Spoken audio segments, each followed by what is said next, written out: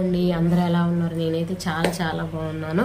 నా YouTube channel start చేయడం నా అంటే నేను నా యూట్యూబ్ ఛానల్ స్టార్ట్ చేయడానికి గల కారణం ఏంటంటే మా చిన్న అబ్బాయి ఎందుకంటే చిన్న అబ్బాయి ప్రీమెచ్యూర్ బేబీ ప్రీమెచ్యూర్ బేబీ కోసం చాలామంది చాలా క్వశ్చన్స్ అయితే అడుగుతున్నారు. ఒక సిస్టర్ వచ్చేసి ఇంకా నా నెంబర్ కూడా అడిగింది. ఇంకా నా వాట్సాప్ నెంబర్ కూడా చెప్పమని చెప్పింది. అలాగే కామెంట్లో ఇవ్వడం నాకు తెలియదు నెక్స్ట్ వచ్చేసి ఏంటంటే ఒకవేళ నెంబర్ మనం ఇచ్చేస్తే ఎవరికి వెళ్ళిపోతుందో అన్న భయం మీద నేను నెంబర్ కూడా పెట్టలేదు. తన నెంబర్ అయితే అడిగింది. చాలా రిక్వెస్ట్ మీద అడిగింది. తనకి ఏం డౌట్ ఉందో తెలియదు చాలా డౌట్స్ ఉన్నాయి అక్క మీకోసం మేము క్లారిఫై అయితే చేయాలి మా బాబు కూడా ప్రీమెచ్యూర్ బేబీ ఎలా హ్యాండిల్ చేయాలో తెలియట్లేదు. బరువు ఒకటి పెరగడం లేదు అని చాలా డౌట్స్ తనే కాదు చాలా మంది నాకు కామెంట్లో తెలియజేశారు. చాలా మంది నాకు అప్పుడైతే ప్రజెంట్ అవ్వలేదు. ఇప్పుడు బాబుతో కొద్దిగా టైం సరిపోతుందని మీకు మీ దగ్గరికి నేను అంటే ఈ విధంగా ఫేస్ వీడియో అనేది చేస్తున్నాను. ప్రీమెచ్యూర్ బేబీస్ అంటే ఎయిత్ మంత్లో పుడతారండి సెవెంత్ మంత్లో పుడతారు ఈవెన్ సిక్స్త్ మంత్లో కూడా పెడతా ఉంటే అది పుడతారండి. అయితే మా బేబీ వచ్చేసి ఎయిత్ మంత్లో పుట్టింది. ఎయిత్ మంత్ వచ్చేసి టెన్ డేస్ అవుతుంది. నేను డెలివరీ అనేది అయిపోయాను. అదే ఎందుకంటే ఉమ్మ నీరు లీక్ అనేది అయిపోయింది. ఉమ్మ నీరు లీక్ లీక్ అవడంతో ఎమర్జెన్సీ కింద మనకి ఏంటంటే హాస్పిటల్లో చేర్చేశారు. వెంటనే ఆపరేషన్ చేసి బాబుకి ఏమొచ్చేసి వేరే హాస్పిటల్లో చేర్చాము ఎందుకంటే బ్రీతింగ్ ప్రాబ్లం అనేది వచ్చేసింది. ఇక్కడ నేను నా హాస్పిటల్లో ఎక్విప్మెంట్ లేకపోతే వేరే హాస్పిటల్కి అనేది తీసుకొని వెళ్ళారు. అయితే మీకుండేటువంటి ప్రీమెచ్యూర్ బేబీస్ తాలూకా డౌట్స్ ఏమైనా ఉంటే అంటే నేను కొద్దిగా క్లారిఫై చేసినట్టు అవుతాను. ఎందుకంటే నేను వన్ ఇయర్ నుండి ప్రీమెచ్యూర్ బేబీని ఎలా చూసుకుంటున్నాను? ప్రజెంట్ మా బాబుకి వచ్చి వన్ ఇయర్ త్రీ మంత్స్ అయితే ఈ వన్ ఇయర్ త్రీ మంత్స్ మా బేబీతో నేను ఎలా ఉన్నాను? అయితే మా బేబీ నేను ఎలా హ్యాండిల్ చేసుకోగలుగుతున్నాను? అని ఈ వీడియోలో తెలుసుకుందామండి. ప్రీమేచ్యూర్ బేబీ వచ్చేసి ఎయిత్ మంత్లో పుట్టారనుకోండి. అయితే ఎయిత్ మంత్లో పుట్టిన బరువు ఒక్కొక్క ఒక్కొక్క బేబీ ఒక్కొక్క బరువులా ఉంటుంది. ఒక కేజీ బరువుతో పుడతారండి రెండు కేజీల బరువుతో పుడతారు ఇంకా రెండున్నర. ఇలాగా ప్రీమేచ్యూర్ బేబీస్ వచ్చేసి అంటే కేజీ కన్నా తక్కువ పుట్టే వాళ్ళు కూడా ఉంటారు. సిక్స్త్ మంత్లో ఈ మధ్య కాలంలో ఎక్కువ ప్రీమేచ్యూర్ అంటే బేబీస్ పుడుతున్నారు. అంటే డెలివరీస్ కూడా అలాగే అవుతున్నాయి. మరి ఏం ప్రాబ్లమో మనం తినేటువంటి ఫుడ్డో లేకపోతే ఏమైతే తెలియదు కానీ మనం ఉండేటువంటి వాతావరణమో లేకపోతే అయితే నాకైతే తెలియదు నాకు ఎందుకు అయ్యింది అంటే ఇలా ప్రీమెచ్యూర్ బేబీ అవ్వకుండా మీరైతే జాగ్రత్తగా చూసుకోండి. ఎందుకంటే అయ్యింది?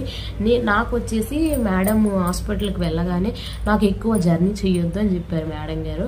అయితే నేను ఏం చేశాను? జర్నీ అయితే బాగా ఎక్కువగా చేసేసాను చేసేసాను. బాగా ఎక్కువ చేశాను. దానికి తోడు వచ్చేసి ఏంటంటే నేను బాగా ఒక్కదాన్నే నేను పని చేసుకోవడం నా అంతటి నేనుగా కూర్చోవడం లెగడం కూర్చోవడం అంటే ఫస్ట్ డెలివరీ అయ్యాను కదా. ఫస్ట్ తెలుసు నాకు అన్ని అంటే బాబు పుట్టాడు.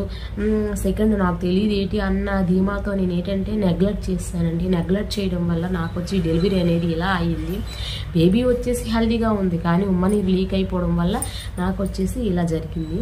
అయితే ప్రీమేచ్యూర్ బేబీ వెయిట్ గెయిన్ అవ్వడం లేదు అని ఎవరైతే అనుకుంటున్నారో ఖచ్చితంగా అయితే పిల్లలకి తల్లిపాలు అయితే ఇవ్వండి. ప్రీమెచ్యూర్ బేబీ తల్లులు ఎవరైతే ఉన్నారో తల్లిపాలు వల్లే మనకి వన్ ఇయర్ కాదండి టూ ఇయర్స్ త్రీ ఇయర్స్ వరకు కూడా ప్రీమెచ్యూర్ బేబీకి తల్లిపాలు ఇవ్వడం చాలా చాలా మంచిది. ఎందుకంటే తల్లిపాలలో చాలా పోషకాలు అనేవి ఉన్నాయి. తల్లిపాలు వల్ల బరువు పెరుగుతారు. తల్లిపాలు వల్ల వాళ్ళ బోన్స్ అనేది డెవలప్మెంట్ అనేది బాగానే ఉంటుంది. ఇంకా బ్రెయిన్ డెవలప్మెంట్ కూడా చాలా బాగుంటుంది. టోటల్గా వచ్చేసి ఏంటంటే తల్లిపాలలో మల్టీ విటమిన్స్తో కూడుకున్నటువంటి పోషకాలు ఉన్నాయి కాబట్టి అదే మనం పోతపాలు పెట్టామనుకోండి ప్రీమెచ్యూర్ బేబీస్కి అంత బలం అనేది ఉండదు. ఖచ్చితంగా తల్లిపాలు ఇవ్వడానికే ప్రిఫరెన్స్ అయితే ఇవ్వండి. అయితే నేను ఇప్పటికీ కూడా నా నా నా పాలే ఫీడింగ్ అయితే ఇస్తున్నాను. బయట పాలు అయితే పట్టడం లేదండి. తర్వాత సిక్స్ మంత్స్ దాటనిచ్చాక ఫుడ్ అనేది సాలిడ్స్ అనేది స్టార్ట్ చేశాను. సాలిడ్ స్టార్ట్ చేయడం వల్ల ఏంటంటే బేబీ వచ్చేసి ఇప్పుడు ప్రజెంట్ వచ్చేసి వన్ ఇయర్కి నైన్ కేజెస్ అయితే ఉంది. డాక్టర్ గారిని అడిగాక పర్వాలేదమ్మా వన్ ఇయర్కి ఎయిట్ కేజెస్ ఉంటే సరిపోతుంది అని డాక్టర్ గారు చెప్పారు. అయితే నేను హ్యాపీగా ఫీల్ అయ్యాను. నెక్స్ట్ వచ్చేసి ఏంటంటే ప్రీమేచ్యూర్ బేబీని ఎలా హ్యాండిల్ చేయాలి. తల షేప్లో లేదు తల సైడ్గా ఉంది అని చాలామంది అడుగుతూ ఉన్నారు. కొన్ని కొన్ని మసాజులు చేసినట్లయితే తల అనేది సెట్ అయిపోతుంది.